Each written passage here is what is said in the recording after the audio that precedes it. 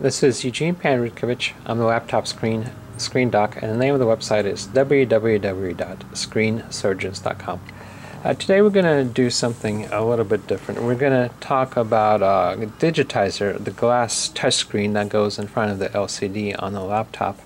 And in particular, the the model is HP Envy M6-W. It's a 15.6 inch laptop that came out around 15, 2015, 2016. And the thing that's unusual about this laptop is it has three different types of digitizers. So if you break your digitizer or the touchscreen on your laptop, it's uh, you have to know which one to order, and in order to know which one to order, you have to open up the laptop, take the digitizer out, and find out the part number. So there's three different digitizers, and it's difficult or impossible to tell from the just looking at the laptop. Two of them are exactly identical in size, and one is slightly shorter. The way to tell which one you need is to look at the part number of the digitizer. So the first one is, let's see if we can get a good focus.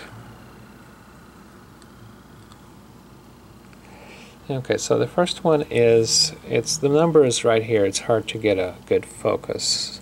So it's T156AWCN40. So you, if you can read that number, this is the one you need. The second one is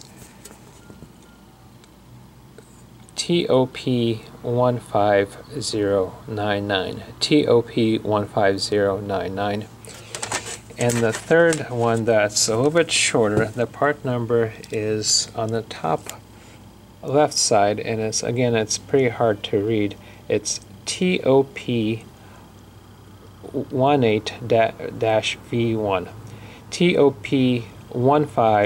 18-V1. 15P18-V1. Alright, so what you need to do is if you have a M6W, HP Envy M6W laptop with a cracked digitizer, you need to take the digitizer out and then find the part number and then find the model, a replacement part based on that part number. Uh, at Screen Surgeons, we have all three of those parts in stock and we can assist you with the right selection. So to do that, go to www.screensurgeons.com and then there will be a short form for, for you to fill out and then someone will contact you and then we can find you the right part. Okay, uh, thank you very much. My name is Eugene Panrutkovich, and the name of the website is www.screensurgeons.com. Thank you and good luck.